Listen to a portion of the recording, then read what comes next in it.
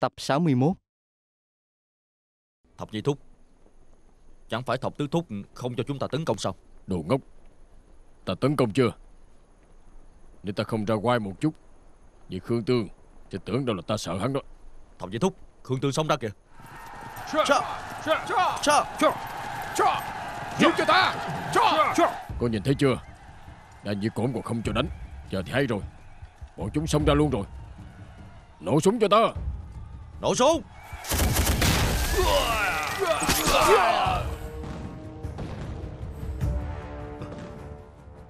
Người đâu?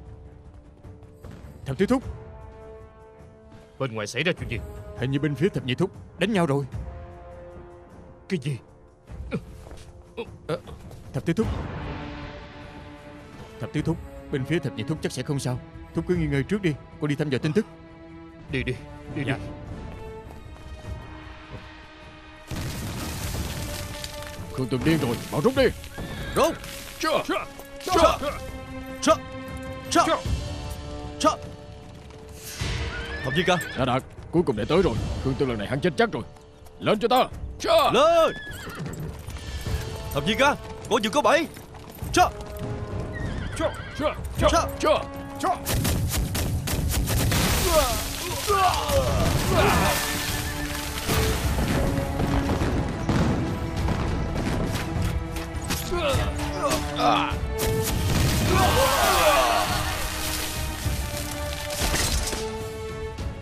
Thập tứ thúc Không xong rồi. Thập nhị thúc và thập ngũ thúc Trúng mai phục của Khương Tương Không rõ sống chết nữa. Cái gì? Thập tứ thúc. Dương gia Dương gia. Mau đi cứu Đà Đạt. Thập tứ thúc Sức khỏe của thúc. Đà Đạt không thể có chuyện. Đi mau. Dạ. Dạ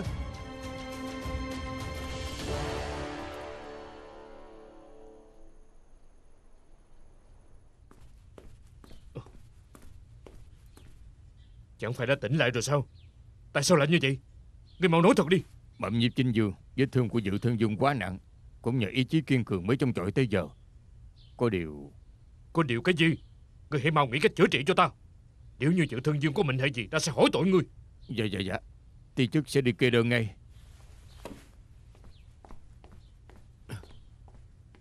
Tô Mạc Nhi. Tô Mạc Nhi. Cái gì Đệ Muốn gặp Tô Mạc Nhi. Tô Mạc Nhi?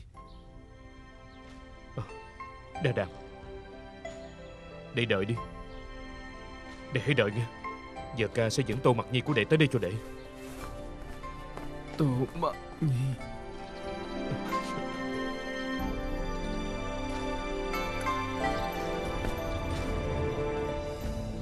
Đa Đạt Đa Đạt muội tới rồi. Đa Đạt Tô Mạc Nhi Đúng thật là muội sao?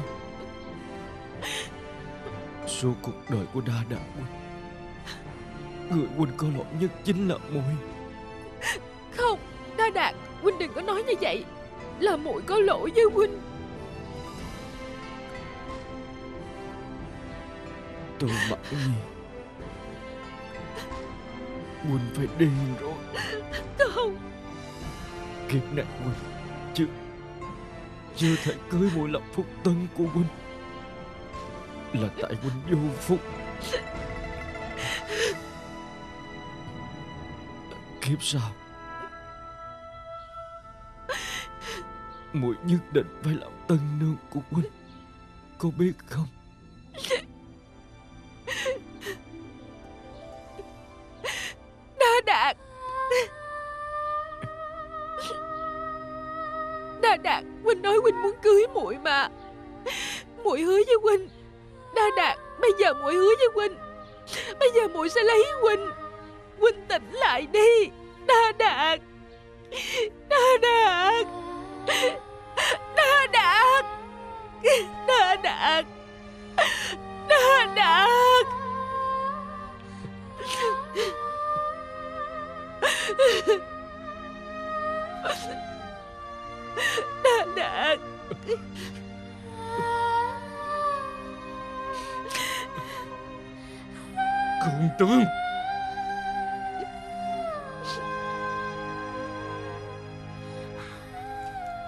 1649, ngày 18 tháng 3, thuận trị năm thứ sáu, Đa Đạt bị thương qua đời, khiến cho Đa Nhị Cổn chịu một cú sốc nặng nề.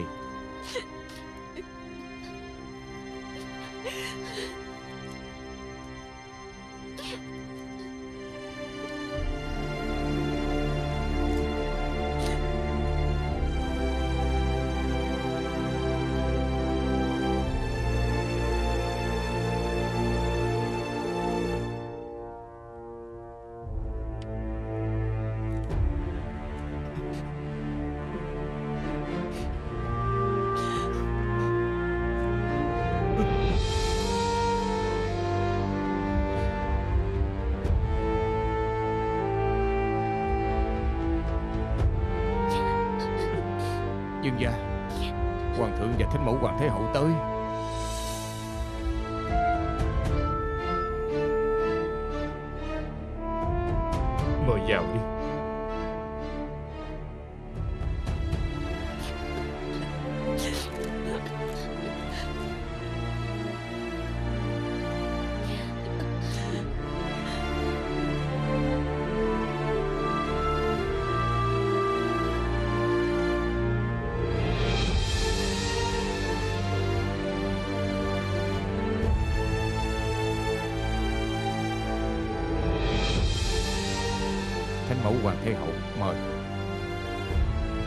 Hoàng thượng mời.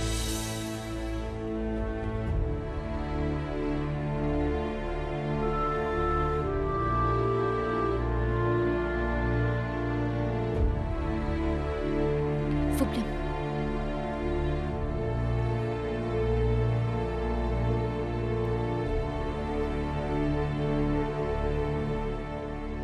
Mời Hoàng thượng dân hương cho dự thân dương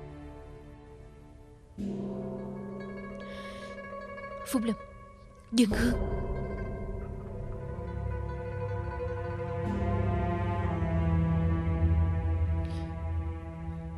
Phúc Lâm.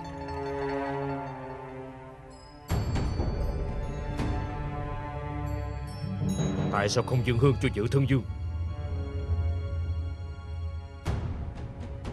Dự thân dương đã làm rất nhiều chiến công cho nhà Thanh. Tại sao lại không dân hương cho dự thân dương? Đừng vậy mà đa nhĩ cổn Cầm lấy. Phúc Lâm.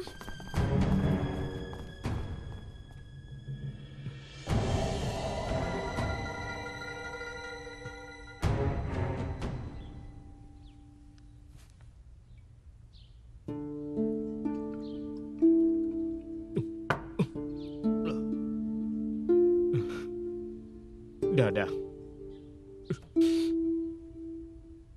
nói đi. Hai huynh đệ chúng ta tới cuối cùng là sao? Lẽ ra huynh nên nghe theo lời của đệ từ đầu.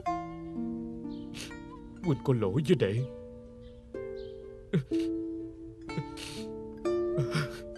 Huynh quả thật là quá thất bại mà. Đà đà Tại sao đệ lại ngốc như vậy? Tại sao đệ lại ra đi trước cả cả chứ?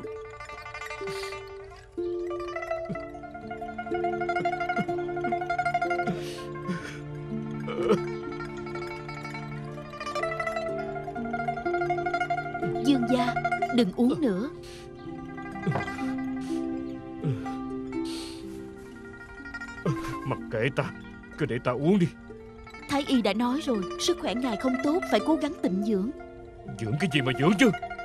Trái tim của ta đã trống rỗng rồi biết chưa? Đi đi Đừng có quấy rầy ta.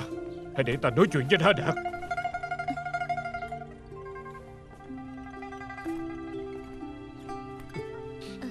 Thánh mẫu Hoàng Thái Hậu Miệng lệ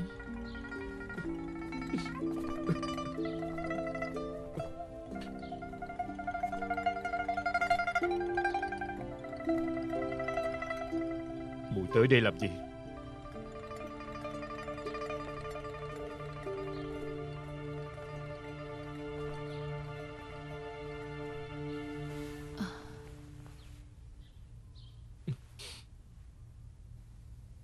Mùi tới đây để khóc với huynh Đa Đạt đi rồi Mùi biết trong lòng huynh đau đớn lắm.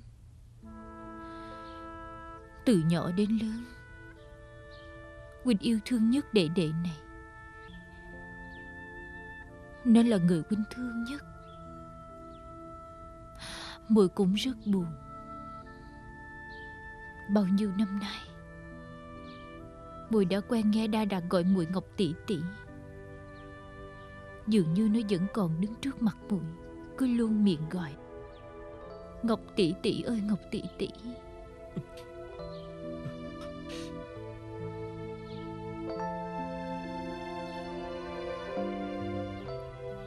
Hôm huynh đi đại đồng, Đa Đạt còn giận dỗi với muội.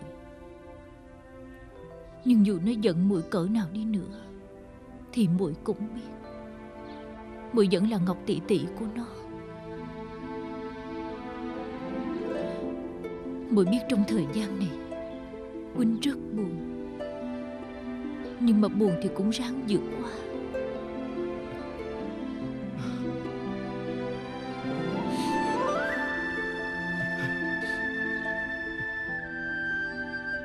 Thể xác này của ta. Đã bị muội coi khinh từ lâu, Thối rửa rồi. Chẳng phải tốt hơn sao? Như vậy hai mẹ con muội sẽ được giải thoát. Không cần phải ở trước mặt ta Nốt giận nhẫn nhịn nữa. Đa nhị cũng. Hai chúng ta cãi thì cãi, hận thì hận. Nhưng dù sao cũng là ân oán của cá nhân. Chúng ta không nên để ân oán cá nhân này dính liếu đến quốc sự bây giờ huynh là nhiếp chính dương. Giang sơn nhà thanh đang ở trong tay huynh gánh nặng mà huynh gánh không chỉ là của mình huynh đâu hay là của ba huynh đệ huynh mà là cả một nhà thanh. Thánh mẫu Hoàng Thái Hậu Người tới phủ nhiếp chính dương của thần Là để an ủi thần Hay là để nhắc nhở thần tiếp tục bán mạng cho con trai của người? Đa nhị cũng Chẳng lẽ không phải sao trong trái tim của muội chỉ có con trai muội, Chỉ có nhà thanh. Có bao giờ muội đứng ở vị trí của đa nhĩ cổn huynh Ngay cả một gốc nhỏ muội cũng không chừa cho ta. Lúc trước huynh ra trận, muội sẽ Ngày nhớ đêm mong. Hãy huynh bị thương, muội sẽ đau lòng mà rơi lệ. Huynh ở bên ngoài, muội sẽ nhớ nhung. Huynh về rồi, muội lại lo lắng cho an nguy của huynh Một đại ngọc nhi đến từ bộ lạc khoa nhĩ tẩm. Một đại ngọc nhi có trái tim lương thiện đơn thuần dịu dàng Đâu mất rồi. Sau khi ngạc nương của huynh qua đời, Người quan trọng nhất trong cuộc đời huynh Chỉ có hai người. Một người là đa đạt, Một người là muội. Bây giờ đa đạt mãi mãi rời xa huynh rồi. Còn muội? Còn muội thì sao? Dùng thù hận và oán hận Để xây bức tường cao giữa hai chúng ta. Muội không có. Ngọc Nhi Huynh không hề kiên cường Không hề vững chắc mạnh mẽ giống như muội đã nghĩ. Trên chiến trường xưa nay Huynh chưa bao giờ biết sợ Đối diện cường địch Huynh chưa bao giờ biết lui bước là gì. Điều Huynh duy nhất sợ là Chính là những người thân yêu của Huynh Huynh đệ của Huynh Người yêu của Huynh Huynh không sợ họ giận dỗi Huynh Hay là khiến cho Huynh thất vọng? Huynh chỉ lo sợ họ. Không nói tiếng nào mà bỏ Huynh ra đi.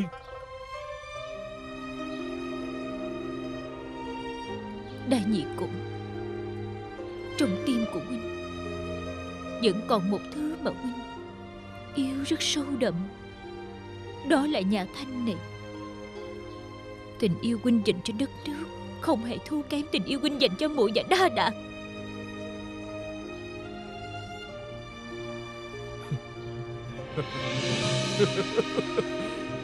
Huynh đã từng vì mũi, Dứt bỏ Giang Sơn Dứt bỏ ngôi Du, Dứt bỏ tất cả. Nhưng còn mũi, Trong trái tim của muội Sau này chỉ có con trai muội. Vì đó muội sẵn sàng kiềm chế huynh lợi dụng huynh Thẳng tay dứt bỏ tình cảm của chúng ta. Huynh làm chuyện tốt thôi sao?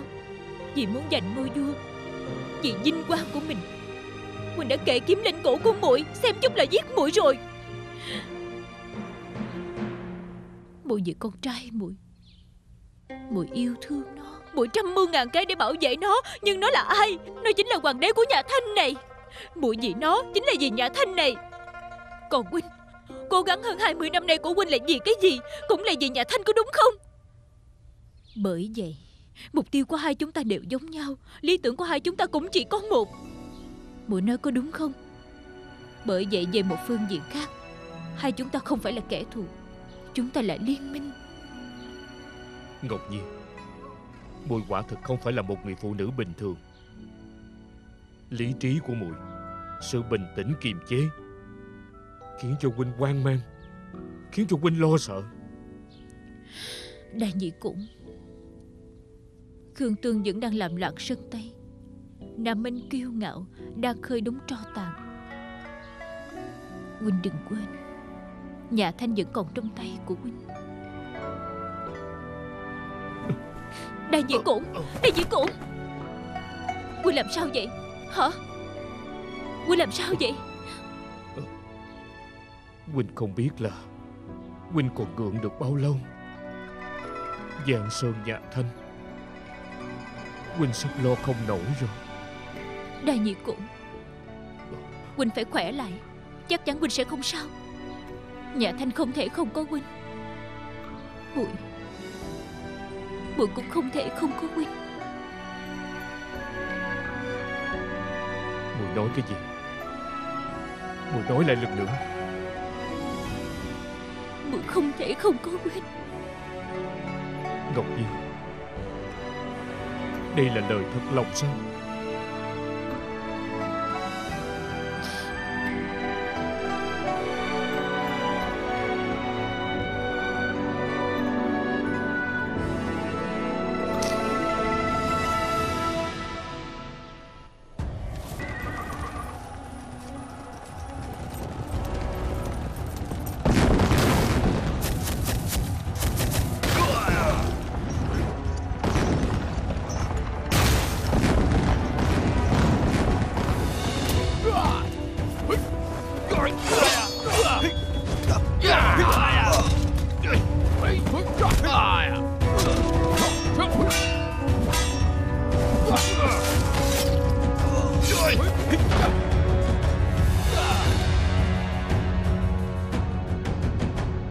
Huynh đệ à. Dương Chúng Quy Đem đầu tên Khương Tương Tới đây đầu hàng. Đầu hàng. Ta đã cho bọn chúng rất nhiều thời gian. Bây giờ chúng mới chịu đầu hàng. Trễ rồi. Về tiếp theo Để dự tính xử lý bọn chúng thế nào? Trước tiên đem đám tiểu nhân tham sống sợ chết Dương Chứng Quy ra lăng trì xử tử hết đi. Được. Vậy quân dân trong thành Đại Đồng thì sao Giết hết đi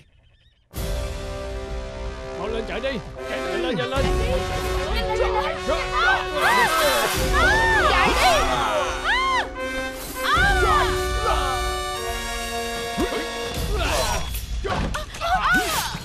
Cứu đồ dây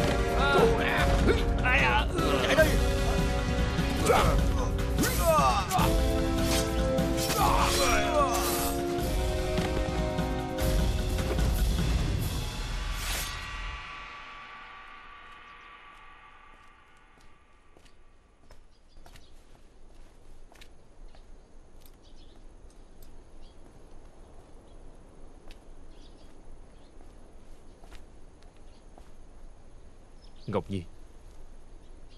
Huynh bình định đại đồng rồi Huynh khải hoàng rồi. Huynh không vui mừng sao? Khải Hoàng. Vui mừng. Huynh còn muốn yến tiệc mừng công sao? Đa nhị cũng. Sao Huynh lại giết sạch 12 vạn quân dân ở Đại Đồng? Tại sao Huynh làm như vậy? Tại sao hả? Bởi vì bọn chúng phản bội nhà Thanh. Tự làm thì tự chịu Quan hồn và dông linh của 12 vạn người. Đa nhị cũng Huynh không có nhân tính mà.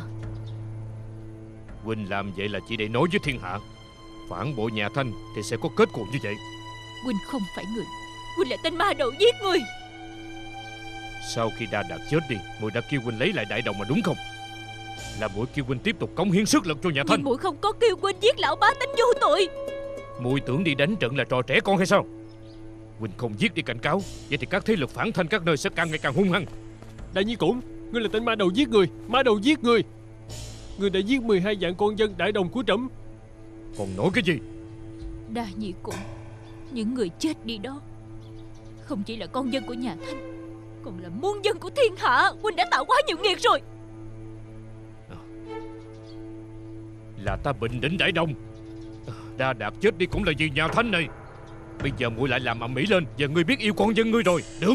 Muội nhân từ, Ngươi có bản lĩnh. Vậy sao các ngươi không tự ra trận, Không tự bình định đi?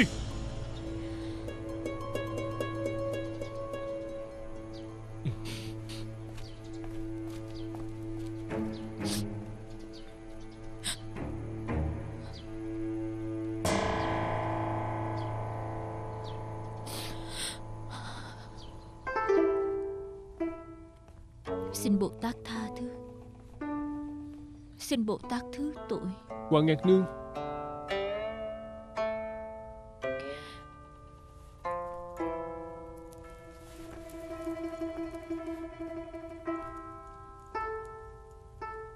Phúc Lâm Sau này con chấp chính Điều đầu tiên con phải làm là Phải xây một ngôi chùa ngay Đại Đồng Siêu độ cho những dông linh chết quan Ở Đại Đồng lần này. À, Đây là tội lỗi. Không thể tha thứ của nhà Thanh. Phúc Lâm Ba tánh là con dân của con Dù mãn hay hán Cũng phải đối xử thật tốt. Hoàng Ngạc Nương Con biết rồi. Đa nhị cũng Anh dũng một đời Mạnh mẽ một đời. Cuối cùng lại bị tiếng xấu vì chuyện này. Những anh dũng vinh quang trước đây của huynh ấy Cùng với chuyện giết sạch dân trong thành lần này Đều đã ghi vào cột mốc lịch sử.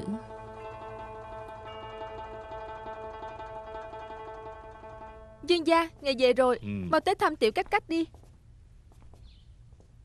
Hiểu cách cách cái gì? Dương gia, ngài rời nhà được mấy tháng Tiểu cách cách cũng sắp tròn tháng rồi.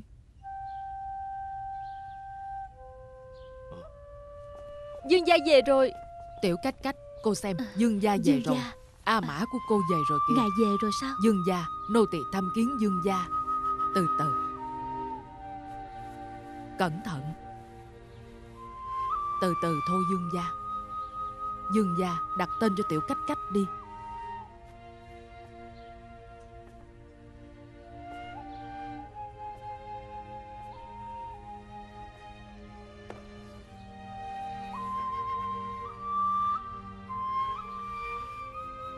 Tên Đông Nga đi. Lúc trước ta có một muội muội tên là Đông Quả Rất là đáng yêu. Đáng tiếc là qua đời sớm. Dương gia Ngài làm A Mã rồi Ngài có vui không? Vui chứ.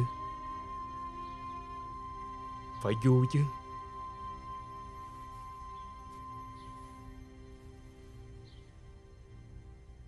Đây, đây, đây, đây. no. Mọi người cứ uống thoải mái đi.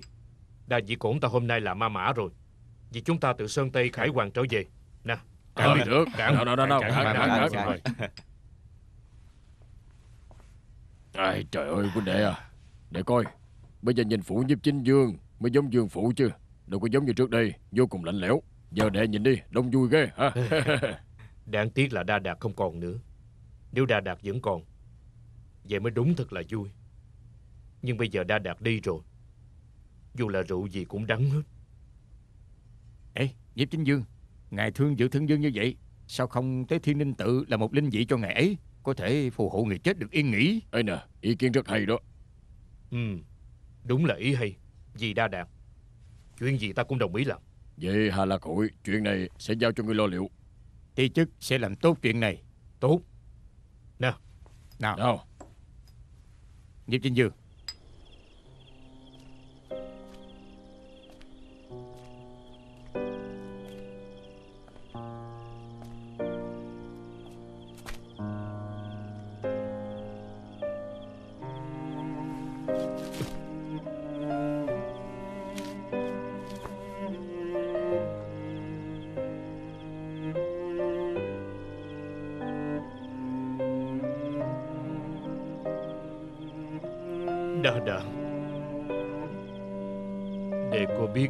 ca ca của đệ.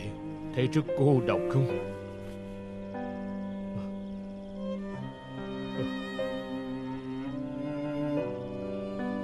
Cho dù là Thê thiếp đầy nhà, Ca hát khắp nơi. Nhưng trong lòng của huynh rất trống rỗng. Trái tim của huynh đã rệu rã hết rồi. Đa đạn Huynh rất muốn nói chuyện với đệ. Cũng đầu với đệ, Uống rượu với đệ đã đạt à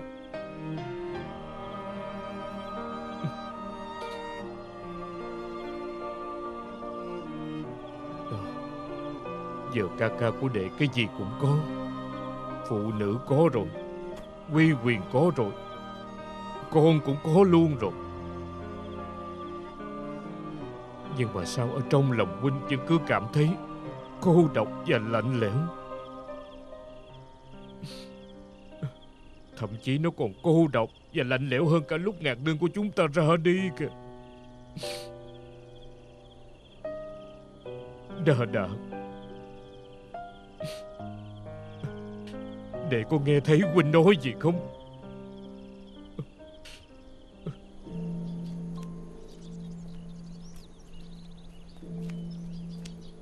Diệp Trinh Dương, Ngài yên tâm.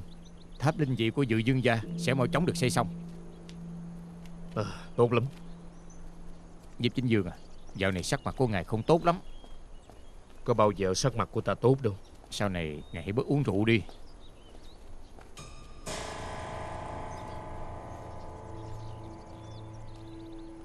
Diệp Trinh Dương Diệp Trinh Dương. Ờ à, Hà Lạc Hội Ngươi đi về trước đi Ta còn có chút chuyện. Dạ Diệp Trinh Dương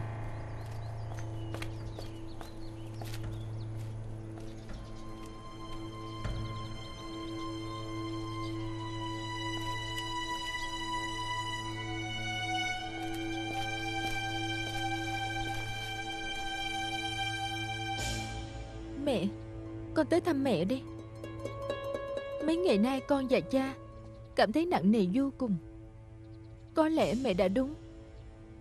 Trong lòng những người đó Đều có chứa tánh khát máu. Toàn là mùi sát khí. Nhiếp chính dương, Người mà trước đây con luôn tôn sùng, Thì ra Ông ta cũng là ma đầu giết người. Lục Châu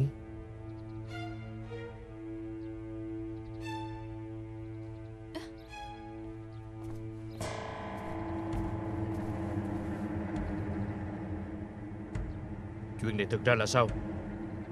Cô là ai?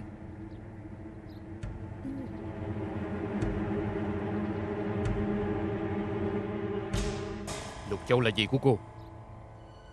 Ông quen biết mẹ tôi. Mẹ cô? Sao Lục Châu lại có con gái được? Chẳng phải cổ đã nhảy giật chết rồi sao? Chẳng lẽ cổ chưa chết Tại sao linh vị của mẹ cô lại ở đây Tôi không biết ông đang nói gì nữa. Cô dẫn ta đi gặp người nhà của cô. Đi. À, à.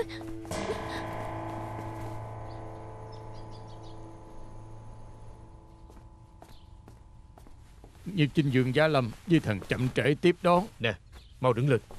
Đứng lên đi.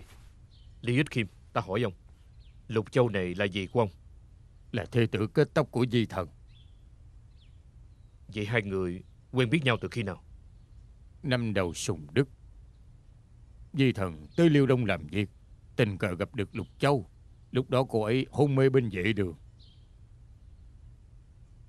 Trên gương mặt của Lục Châu Có phải có vết sẹo không? À. Trời ơi Tại sao ta lại không nghĩ ra chứ? Thì ra Lục Châu vốn dĩ vẫn chưa chết Diệp Trinh Dương. Ngài quen biết Lục Châu à? Đâu chỉ quen biết. Cô ấy là ân nhân cứu mạng của ta.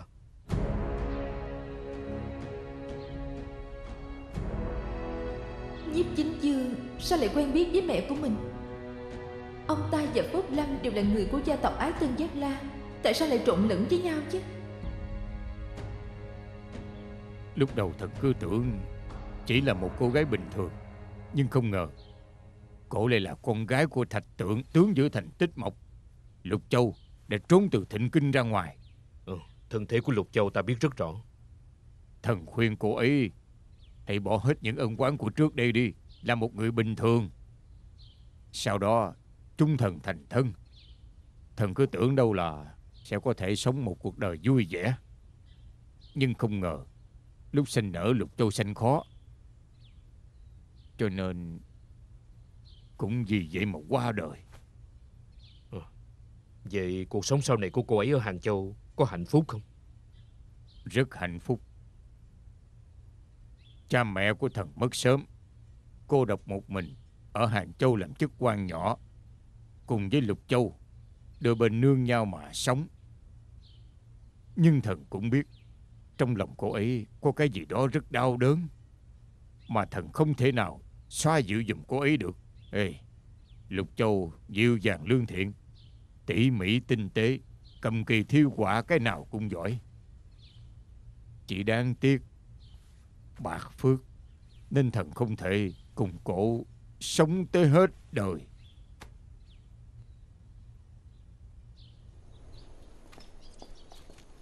Khi nào rảnh rỗi, ta sẽ tới Thiên Đình Tự bái tế Lục Châu.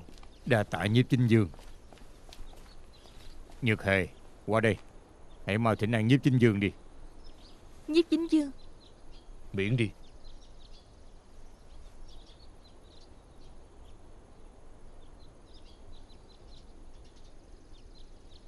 Cô sợ ta tới vậy sao? Nhiếp chính dương, tiểu nữ còn nhỏ không hiểu gì. Mong nhiếp chính dương lượng thứ cho nó. Sao ta lại trách cô ấy chứ? Tôi và cha tôi vẫn luôn cho rằng Nhiếp chính dương khí phách hơn người Anh Minh Trí Dũng là anh hùng hiếm có của thiên hạ Nhưng không ngờ Nhiếp chính dương lại có sở thích đồ sát sinh linh Lấy đầu của lão bá tánh vô tội Để thử độ bén của đao kiếm Nhược hề, Năm xưa mẹ tôi vì chuyện đồ sát thành tích mộc Mà đau khổ cả đời con quỳ xuống cho cha. Cha, cha làm vậy để làm gì Sao con phải quỳ trước một tên ma đầu giết người Quỳ xuống cho cha. Xin nhiếp chính dương thứ tội. Xin nhiếp chính dương thứ tội. Tiểu nữ còn nhỏ không biết gì. Xin nhiếp chính dương thứ tội. Đứng dậy đi.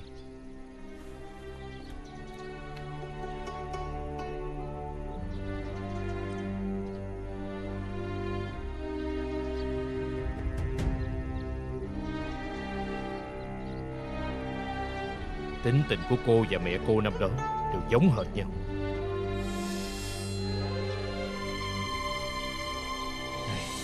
Nhược hề ơi, Nhược hề. Lần này con gây ra đại họa rồi. Chỉ nói sự thật thôi. Cho dù là sự thật Con cũng phải coi đối phương là ai chứ?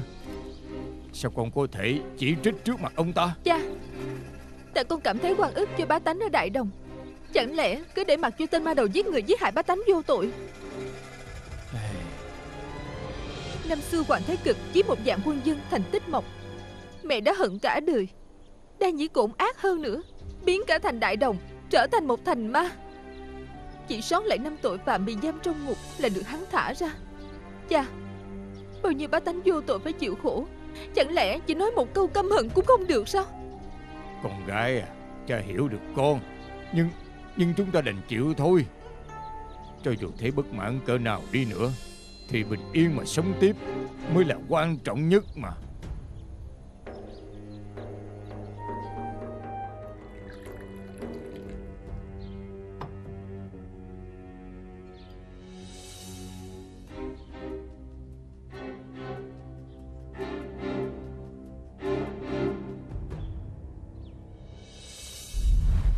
Hận nước thù nhà. Không thể nào quên. Chỉ cần tim vẫn còn đập, Thì không thể nào dập tắt thù hận.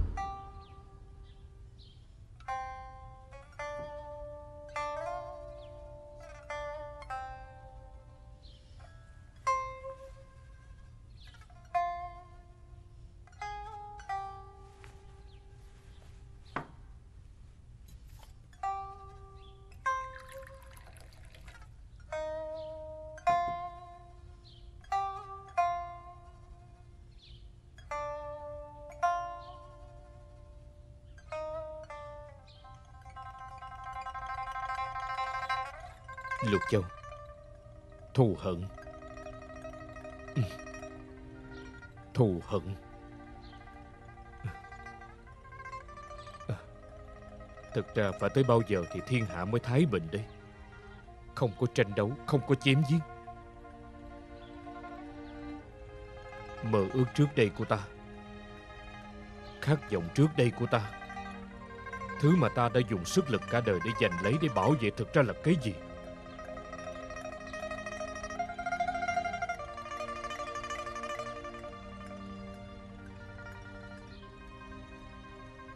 Sao ta lại trở thành một người tàn nhẫn tới như vậy chứ? Người mà ta từng lên án mạnh mẽ. Tại sao trong cơ thể của ta cũng chảy những dòng máu hung tàn? Chiếm giết khiến cho ta mạnh mẽ hơn sao? Khiến ta thỏa mãn hơn sao Và cảm thấy dỗi dang hơn sao? Tại sao ta lại làm như vậy? Tại sao chứ? Bởi vì hận sao? Nỗi hận không ngừng nghỉ.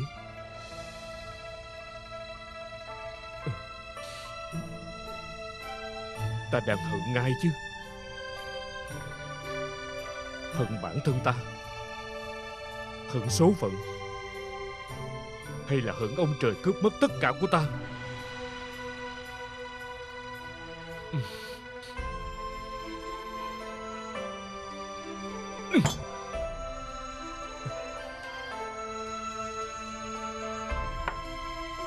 Tại sao tất cả mọi người đều hận ta? Tại sao tất cả mọi người chỉ biết chào đón ta bằng một thái độ hoang mang và sợ sệt? Cuộc đời này của ta thật ra là vì cái gì?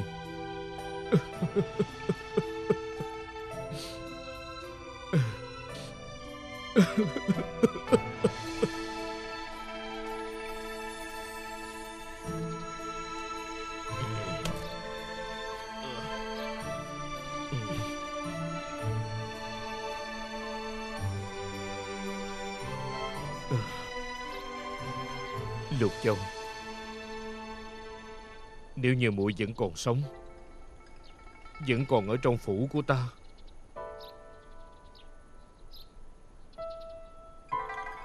Muội có chửi rủa ta Coi khinh ta không? Hay là dù ta làm gì đi nữa muội cũng sẽ tha thứ cho ta. Muội cũng sẽ Toàn tâm, toàn ý Chăm sóc ta. Lục Châu à Ta có lỗi với muội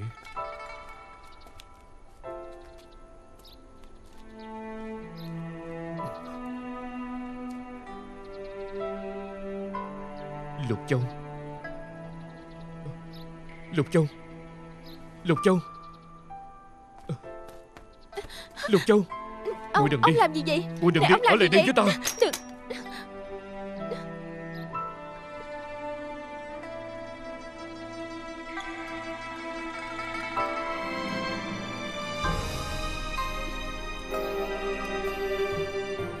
Cái này là gia tôi kêu tôi đem tới Đây là món quà duy nhất mẹ tôi để lại Khi trốn khỏi thịnh kinh.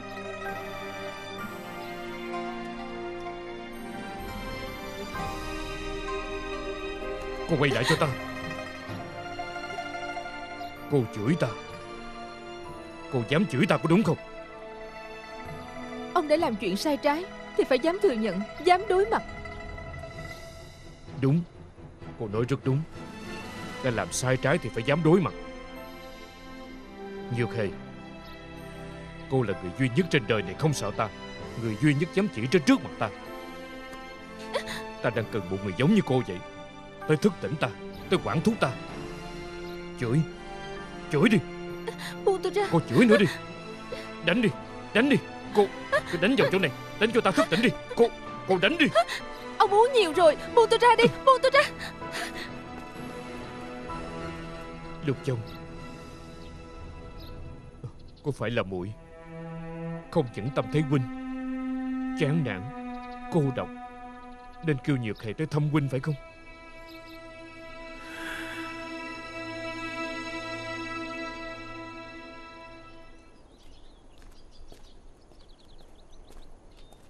Nhược Hề Hả?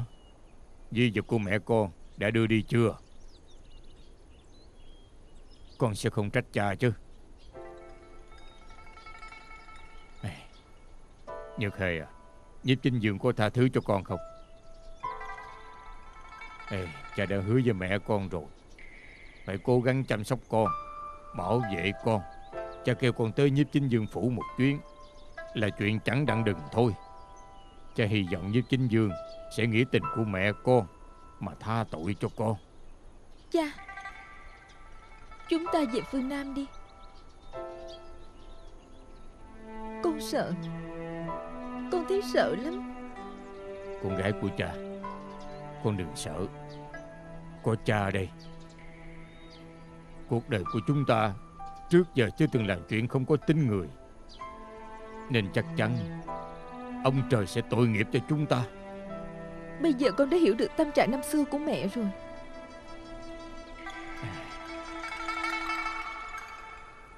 Như Khê Như Khê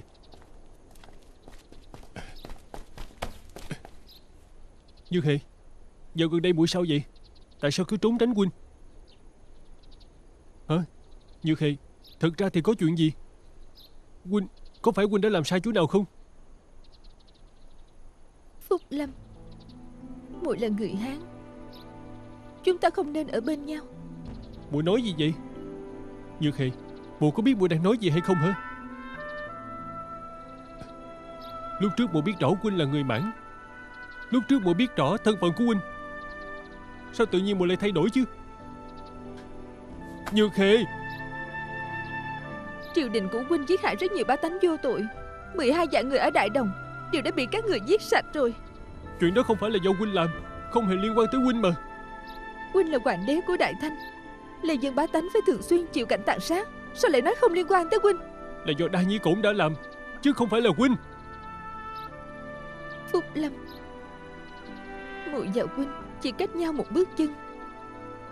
Nhưng bước chân này Lại bị ngăn cách bởi thụ hận mãi mãi không tan Của hàng vạn bá tánh vô tội.